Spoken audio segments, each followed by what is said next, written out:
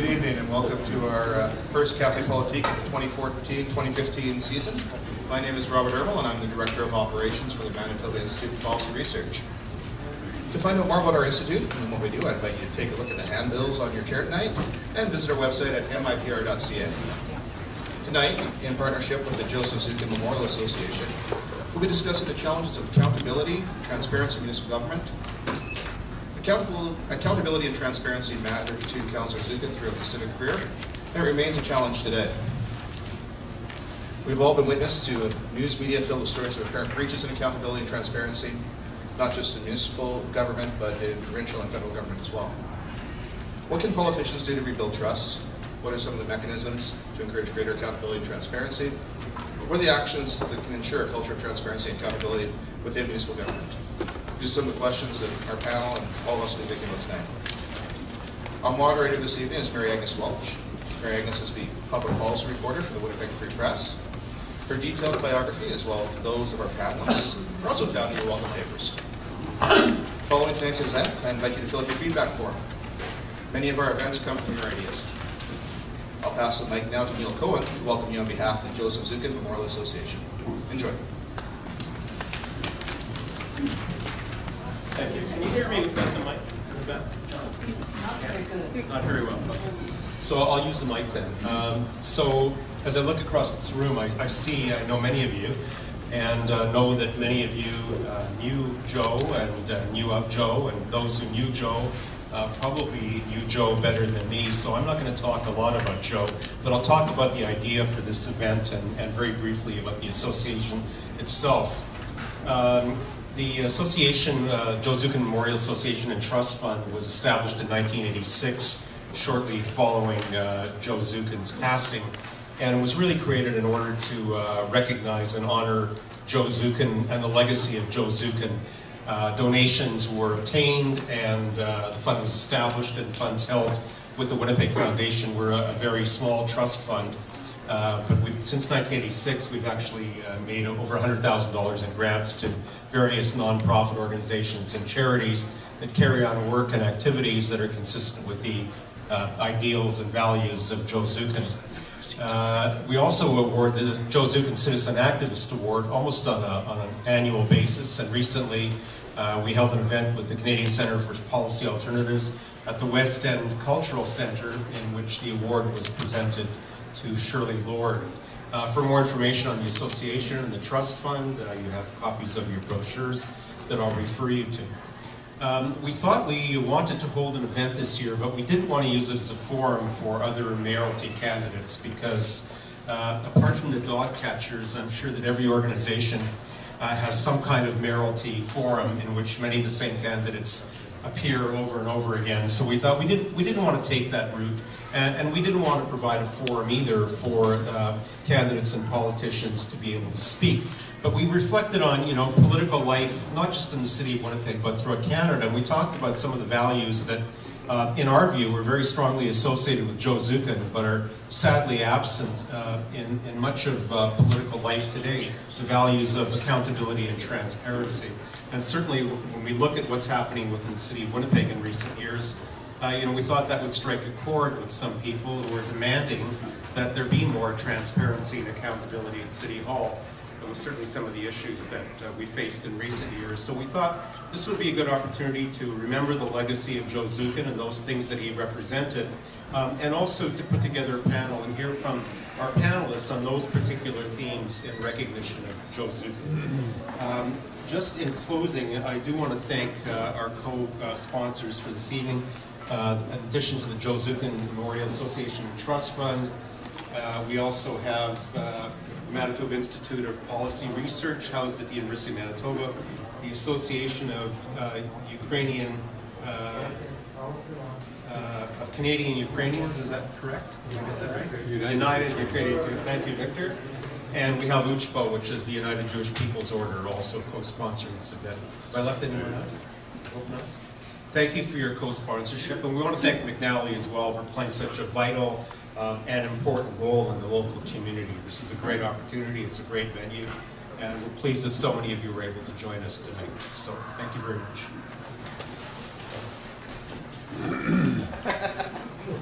Thank Thank you. Uh, as mentioned, I'm Mary Agnes Welch, and I'm your hostess for the evening. Um, so, uh, just before I introduce uh, our panelists, I just want to tell you briefly about how the evening will go. We've got sort of three talks by our folks here, and then I'll ask some questions, and if I have stupid questions, you folks can ask questions. So we're hoping to get plenty of um, participation from the audience tonight. Um, I I will say to start with that I never covered an election, I don't think, I've covered a lot, that where accountability and transparency have actually been election issues. Typically these are just journalist issues or just die-hard city hall or government watcher issues. But this election we're talking about how tendering is done and, and uh, how EPC uh, ought to be formed and open data and uh, campaign expenses that ought to be uh, much more public than they are. And we have never seen that before. Typically it's crime and infrastructure, healthcare and something else. There's, these are always the top issues at any kind of election, and this time it's openness and transparency. So this, this event is, is perfectly timed. Um, and these folks are also perfectly um, uh, poised to tell you uh, their views on this topic. I'll start with Muriel Smith, the legendary Muriel Smith. Uh, longtime NDP activist and feminist. You all have uh, her bio in front of you, so I won't read it uh, verbatim. I will just mention that she was uh, president of the NDP. She ran for the leadership. Uh, she was uh, uh, elected uh, in 1981 and immediately uh, appointed to cabinet. She was the first female deputy premier in Canada. She was the minister of like pretty much everything provincially: economic development, community services, corrections, housing, labor, status of women, everything but finance, practically it seems like. Um, and after she uh, lost to Reg Alcock in 88, she continued her work internationally and locally, where she taught political science, uh, social work um, uh, locally. So when she's, she's, in my time in Manitoba, her name often still comes up as kind of a legendary um, uh, activist in the party.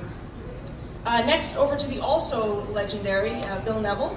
Um, he's best known, I think, uh, especially in this part of the, of the city, as the longtime councillor for Tuxedo. Uh, he served for 10 years, mostly in the 1980s. Um, and he's best known to me as a political commentator and a, a, Winnipeg Free Press um, uh, writer. And he's someone that I've gone to frequently in the past for uh, sort of advice and, and uh, um, opinions on the state of politics in Manitoba. And next, last, uh, Royce Koop. Uh, too young to be legendary. I think you're actually younger than me, technically, so wait, you'll be legendary soon. He is an assistant professor uh, in the Department of Political Science at the U of M. He's also kind of our go-to guy on uh, liberal politics. He's written extensively about liberal politics, both in Manitoba and uh, nationally. Um, he's someone that uh, we've started talking to a lot lately, I think, in the Free Press. Yeah, more and more, which is great. So, um, who is starting? Bill, you're starting. So go ahead, take it away. Thank you very much. As I look around this audience, I see at least half a dozen people who ought to be sitting here rather than me, and uh, half a dozen is probably stating it modestly. But I'm, I'm very pleased to be here. I'm pleased to, uh, to have been asked to, uh, to speak tonight, um, both as to uh, my connection with Joe, but also because of uh, things related to him and things for which he, he stood. He and I first became acquainted in the 1970s uh, when I was a citizen member of the Public Library Board. Uh, he was the member of City Council who'd been appointed by Council to be their representative on the board at the time. Um, it was a very ineffective body, and I remember thinking a number of times that it was really a waste of, of Joe's time. But as a board, we were at that stage trying to make certain changes, one of which was to give the board some autonomy, um, uh, as uh, was the case in other cities that, that we had canvassed. Uh, after years of extensive study and consultation, we proposed to uh, City Council that it give us certain limited powers. Uh, we canvassed most of the council, everyone was for it, but when, we, when it came to council night and our board was sitting in the gallery and they were sitting in their seats, every councillor present voted against us except Joe. Um, the, the issue was one that, in a sense, fueled uh, my willingness to run for council a year later. Uh, once on council, I served briefly on that board. It was not a highly prized uh, appointment, uh, you, you'll understand. You either had to be a reader or eccentric or perhaps both uh, to want to serve as the council representative on it because, as I say, it was relatively powerless. Uh, nice folks, we had a pleasant time. Um, but Joe was, for that period, or for part of that period, the council nominee to serve um, on the board. Uh, I was going to say that anyone on that board had to be both a reader and eccentric, and I guess both he and I qualified, although in somewhat different respect. Um, but it was through that shared membership on the board that I first came to, to know him and, and to appreciate his intelligence and his passion. Parenthetically, I, I, I want to note that he had some background, and I'm sure there are many others here who know this part of his history better than I, but he had some background as a, as a young man in Jewish theater. And I mention this because he possessed certain obvious skills um, as, as, a, as an orator and, and indeed as an actor, uh, which is not to suggest um, uh, that uh, he was doing that just to attract attention, but he knew how to get attention and he knew how to send the English language into battle. Uh, as a politician, he was, I thought, above all else, a man who gave voice uh, to the needs and concerns of those who had no voice. Recent immigrants, the poor, the marginalized, all of those who stood, as it were, stranded beyond the gate. Uh, I think those concerns and those connections always colored his responses to issues and to circumstances. And I, I, only recently became aware of, a, of a, an episode that really illustrates that. I recently had uh, breakfast with Nick Diakiw, who was for 10 years the uh, uh, chief commissioner of the board of commissioners of the city. And I, I wanted, among other things, to talk to him about, well, some of the issues before council, but also some of his recollections of Joe. And he, he told me an interesting story. He said, um, and I, and remember this happening, that uh, Nick's salary was raised to fifty thousand dollars, um, and Joe voted against it.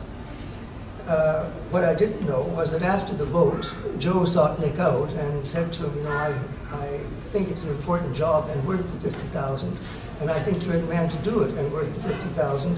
Um, but understand that a great many of my constituents can't even comprehend the notion of a fifty thousand dollar salary, and it would boggle their minds to know that I had voted for it. Um, and, and I think that was, in, a way, characteristic. I mean, he, he, he was realistic on the one side about what the situation demanded, but he was also, he, the, other, the other reality uh, was the state condition and expectations of the people that he represented and expected uh, him to speak for them. From, from my perspective, there were two things about that period that differ, obviously, from, or markedly from the present. First, the council was much larger, 29 wards, uh, necess- necess- necessarily, therefore, smaller populations. And one consequence of that, I think, was that a man like Joe could get elected. I'm not sure that in wards the size we now face, uh, that uh, Joe, even if he came back, uh, could get elected. Maybe not even in the area that he, that he once, once represented. Um, and I think that was one of the advantages of the smaller council, even if it, it, it had the side effect that you got, every once in a while, there were a few people who were elected that you wondered how, in God's name, it happened, how, how they even knew enough about council to want to be on it. Um, but the, the, my experience was that in, in overall, the, the councillors were more diverse in, in outlook, experience, and circumstance, some full-time, some part-time. The demographic, I think, was rather different from today. When, uh, when basic salaries for councillors today, I think, at eighty-five thousand dollars a year. I think when I retired, it was something like twenty-two. Uh, I mean, that's a long time ago and allowing for inflation, but uh, I think that, that is the low salary. I think the, the senior members of the council who have other duties probably make $125,000, $130,000 a year. And um, it, it's, a, it's an entirely different world, and I'm not entirely convinced that it's a better world for that. Uh, I think one might still want to make the case for a smaller council uh, paying them more than we got, but less than, than is being made now. The more important point of substance, I think, that needs to be inter- interjected here, though, is that the operation of council, which prevailed during the time that I was there, and for much of the time Joe was there, he being there much longer, which is to say from the early 1970s to the mid-90s, were facilitated by a board of commissioners, uh, which headed and directed the civic bureaucracy, and was, in my experience and in my opinion, an invaluable resource to the council. I was not always enthusiastic about some of the individual things that came out of our dealings with them, but in, with perspective, uh, I think they were very able people, and I think, uh, on balance, we were very lucky to have them. The commissioners were both proactive and reactive. They raised issues, they prepared reports for all the standing committees. particularly reacted and to recommendations from the Executive Policy Committee, which consisted of the mayor, uh, the chairs of all the standing committees, and I think two additional ones elected by council. As between the politicians and the bureaucrats, it was in the main collegial. It was also clear that for all the skills and knowledge reflected in the board, the buck stopped with the Executive Policy Committee. And the Chief Commissioner knew that and accepted that. Um, the commissioners oversaw the activities of all civic departments and, and agencies and reported through uh, the appropriate subcommittees of council. Uh, usually their recommendations were unanimous, but not always, and I think I took that as a, as a positive sign in and of itself. Um, one didn't always have to feel one always had to agree with the recommendations from the board. Nick Diakiw and I crossed swords several times, in fact, but you always felt confident that they had done their homework and could provide rationales for the policy recommendations they were making. And I think for most of us who were part-time counselors, that level of, assurance was uh, a sine qua non of, of our functioning. That is, we, we had to rely uh, on the intelligence, skill, and, and um, knowledge uh, of the people who were advising us. Subsequent events, it seems to me, suggest that that balance has been seriously upset. Um, two factor, two developments it seems to me are relevant. One, the, the decision to reduce council by half. Seems to me that one of the results is the councils now might represent much larger constituents necessarily, um, with the large salaries I alluded to before. I think under this regime, people like Joe find it very difficult uh, to, uh, to get elected. And um, I think the I think the, the result is that there are fewer advocates, maybe, and this may be ignorant to my my sense is that there are fewer advocates uh, on city uh, uh, on city council these days um, for particularly disadvantaged group. Now, I may be doing them a, a, a great injustice, but so far as I can follow what goes on in the papers, uh, that is my sense. Secondly, the thing that I would mention is that the Board of Commissioners was abolished during Susan Thompson's tenure as mayor. It has been suggested to me that the board was condescending to Mayor Thompson, which, if so, I think was unfortunate and inappropriate, and if, it had that result, uh, counterproductive. And I, but I'm going to say that as someone who, some of you will know, was highly critical of, um, of her agenda. Um, but I, I say I've heard this from several people who knew the inside story that uh, she was not treated respectfully by some of the members of the, the Board of Commission, and um, she got a, uh, a consultant who would come and tell her why some other structure was appropriate. He came and he did just that. The board was replaced by, as, as you all know, by a senior administrative officer who proved to have very wide powers. Uh, the extent may be best illustrated by merely mentioning the name of Phil Sheegl, who resigned from the position in 2013. Um, and I'm coming to near the end, my colleagues will be happy.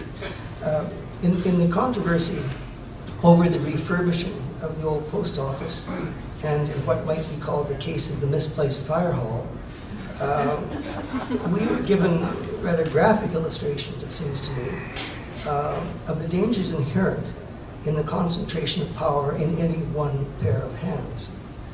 I don't believe such a thing would have been possible uh, in the earlier period, both because of the, the greater number of councillors who would have been looking at it, and also because of the structure of the bureaucratic side. That is, those recommendations would have had to come through a board. They would have been defended, if defensible, in four different standing committees, plus the Executive Policy Committee.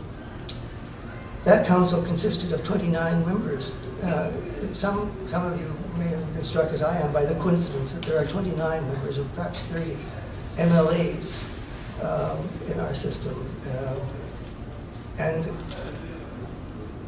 most of them are silent. I mean, unless they're in, in, in, the, in the cabinet.